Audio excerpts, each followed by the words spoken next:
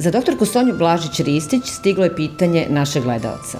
Na pregledu lekara opšte prakse rečeno mi je da imam šum na srcu, ali nisam dobio uput za ultrazvuk. Da li da insistiram na tome, ima li potrebe za detaljnijim pregledima? Kada nam se javi pacijent zbog e, novo otkrivenog šuma na nekom rutinskom ili sistematskom pregledu ili ga mi čujemo tokom pregleda kod nas, e, moramo još nekoliko stvari da znamo o tom šumu. To je vreme kada se on javlja uh, u odnosu na srčani ciklus. Znači, da li je to kad se srce kontrahuje ili kad se opušta, gde se taj šum tačno javlja, da li se širi ili je na tačno određenom mestu, da li je slab ili jak, kakav je po kvalitetu, u smislu da li se menja pri promeni položaja ili u toku disanja. I nabrajanjem svih tih osobina moguće je naslutiti uzrok uh, koji stoji iza tog šuma. Važno je naglasiti da nam često dođu pacijenti koji treba da urade neku, čeka ih neka operacija, pa dolaze na preoperativnu pripremu, tražim internističko ili kardiološko mišljenje za operaciju u opštoj anesteziji. I onda takvog pacijenta, gde se podrazumeva samo taj internistički pregled, mi čujemo šum. Ne možemo dati zeleno svetlo za operaciju u opštoj anesteziji, moramo znati šta je u pozadini tog šuma. E, postoje neka hiperdinamska stanja, tako se zovu. To su stanja kada e, krv brzo struji kroz srce. Situacija kada štitasta žlezda pojačano radi, trudnoća, anemija, stanja sa povišenom telesnom temperaturom.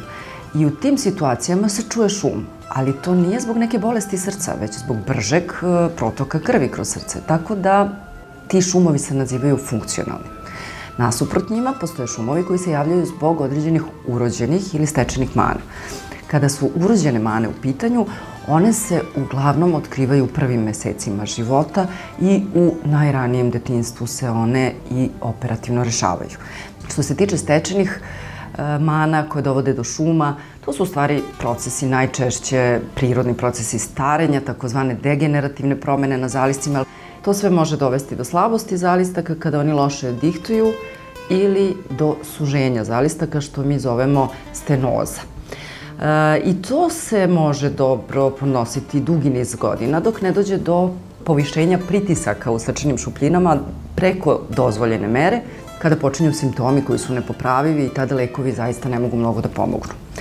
Postoje brojna druga stečena stanja, bolesti srca, um, slabosti srca, proširenja, zadevljanja srčanog mišića i sve to kompromituje adekvatnu dinamiku krvi kroz srce i dovodi do pojave šuma.